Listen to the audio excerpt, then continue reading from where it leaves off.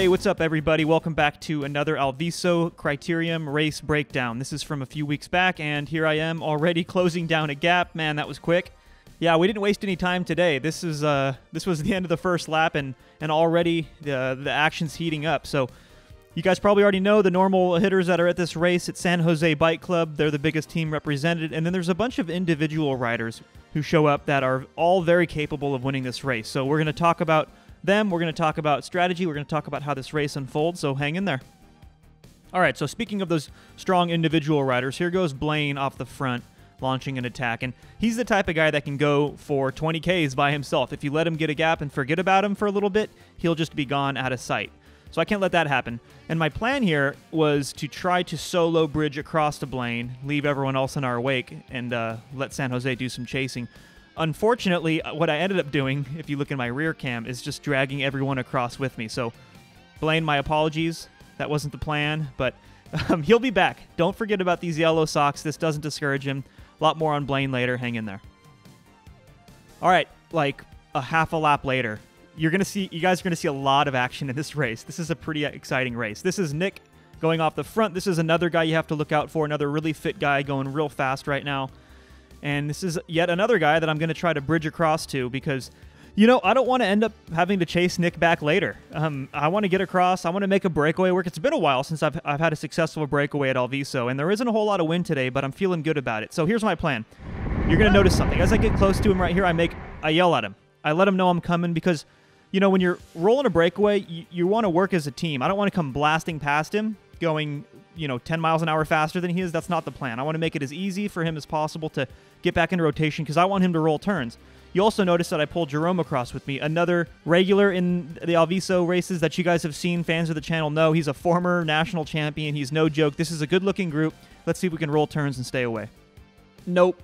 We get chased back, and uh, it's all back together. And here goes Blaine with another counterattack with the yellow socks.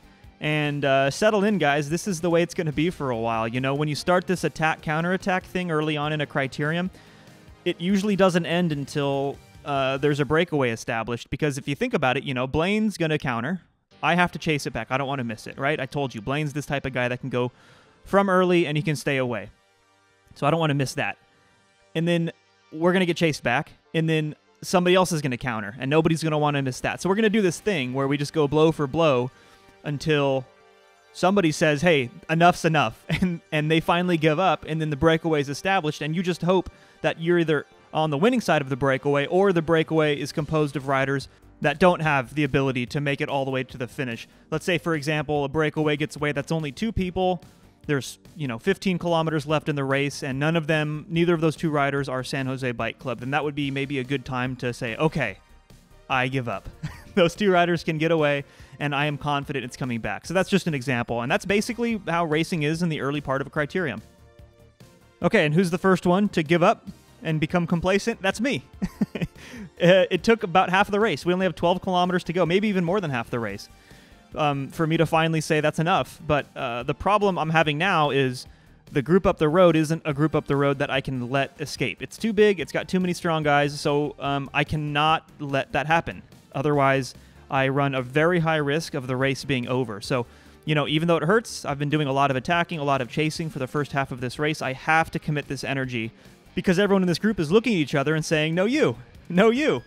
Meanwhile, we're going 22 miles an hour and the group ahead of us is taking off and opening the gap. That's how races are lost. So I'm not going to be stuck in this group behind. I need to get up that group ahead. So my plan is to do this really hard effort and try a solo bridge across to this lead group before the gap stretches out to, you know, 20, 30 seconds where it will never come back. And unfortunately, for me, what ends up happening is Nick gets in my draft. Smart move by Nick, by the way, who I believe has a teammate in this group up here. So he played it really well, and um, now he is able to sit in my draft while I make this really hard effort in the wind to get across to this lead group and make sure that I am represented in the, the front of this race coming into 10 kilometers to go. And to be honest, the next five kilometers were pretty chill. I think everyone was just really tired of going blow for blow on the front. And it seemed at this point that the field was kind of content to, you know, resign itself to a field sprint, which, if you guys know me, like that's totally fine by me. I don't mind doing a field sprint at Alviso even though I was working really hard for a breakaway today. But then I do this. and I don't know why I did this, honestly. Like, I was watching this footage, and at the time I did this, I didn't really have a good reason for it. And now that I'm looking back, I don't really have a good reason for it. And, um, and I got to practice what I preach because I always say like there has to be a reason for every amount every time you spend energy at the front of a bike race there there has to be a really good reason for it. And honestly, I don't have a good reason for it because we have 4200 meters to go. I am not a go from 4200 meters type of rider. Um, I am a go from 200 meters type of rider. So this move doesn't make a whole lot of sense. And you can see as a result, I keep looking back if you saw my shadow, like, okay, is somebody going to bridge across? So I'm not really committed to it because I don't really have motivation to to ride this. And I don't want the field to kind of do this rope a dope thing with me where they let me dangle off the front and just use unnecessary energy. So I don't really have the motivation to ride hard at the moment, but I do have a gap. And then you want motivation? Here it comes. This is Jerome. So Jerome bridges across, and now I'm like, all right, here we go. Let's roll this because we're coming into one lap to go. This is about a lap and a half to go this is the motivation I needed because I'm not a go solo from 4,200 meters to, to go type of person, but with Jerome and now with Dennis jumping across, we have a healthy gap, lap and a half to go. So it's time now to put my head down, put some power out, increase the speed, and see if we can roll this to the finish line.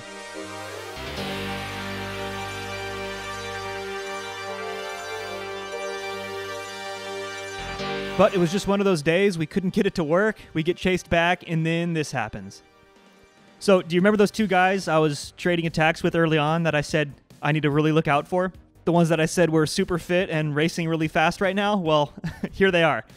This is both of them. This is Nick on the left and this is Blaine on the right, and they're both simultaneously counterattacking me with just over a lap to go. This is super threatening. Let's see how I handle it.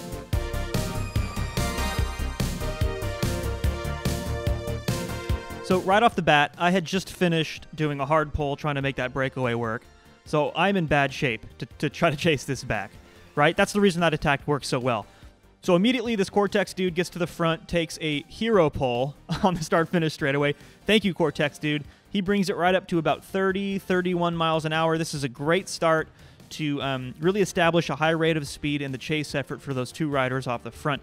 And uh, Unbeknownst to me at the time, I'm looking now at the rear camera. I see San Jose Bike Club starting to congregate behind me. They're doing some hand gestures. I don't know what that means. Hopefully, it means, hey, we're going to get to the front and do some work instead of you, Jeff. That's what I'm interpreting it as now. Hopefully, that's the case. What I'm going to do, though, is uh, once Cortex here takes this really long pull, like this is so clutch. I'm so glad that he took this pull. Even though I'm really tired and it's the last lap, and what I want to do is save all my energy for the finish, I have to keep this speed high. We can't have any more hesitation in the chase effort because those two riders um, can easily get away at this point, even though you can still see them in the distance um, at you know maybe a 10 second gap. But once I see these uh, two, uh, three, four San Jose riders at the front, I want to lean on them a little bit, right? There's like there's like four or five of them in the, still in this race. They're all towards the front. I want to make sure that they're going to do their fair share of pulling on the front to bring that group back. Now I'm able to fall back a little bit, catch my breath, get in the draft of Super Dave here in the blue skin suit, who is always a good wheel to follow. He's also a good draft.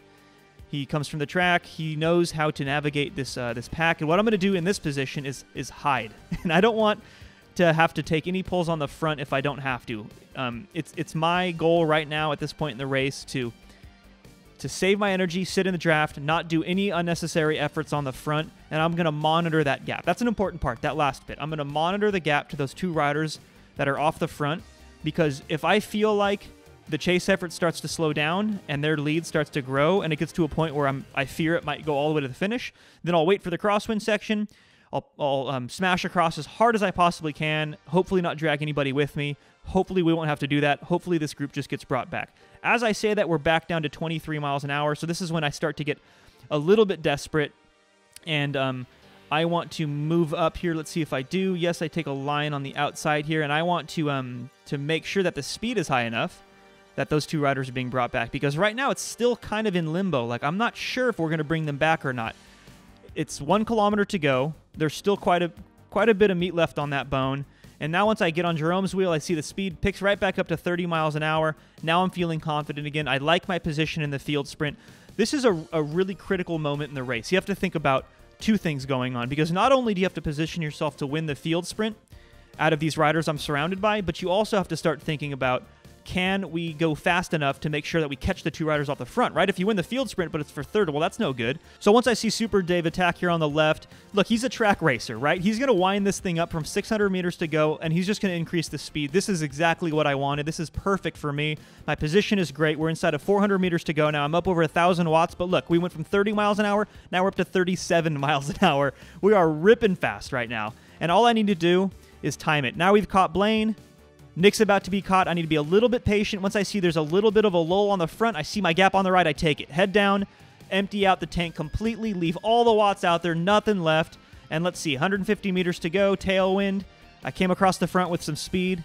Looking good to close out another Alviso win. But before I sign off, hang in there, guys, because I think I could have pretty easily lost this race. Let's rewind for a second to right about here, and let me break it down real fast. So Super Dave has brought it up to 38 miles an hour, and right behind him are two very capable San Jose sprinters in perfect position. So what Dave has basically done for them is act as a teammate in their lead out.